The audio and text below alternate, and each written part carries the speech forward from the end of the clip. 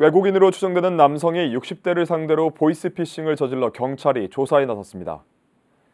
광주 서부경찰서에 따르면 광주 서구에 거주하는 60대 남성 A씨에게 외국인으로 추정되는 남성이 경찰을 사칭하며 지하철역 물품 보관함에 현금을 넣으라고 한 뒤 가로챘습니다.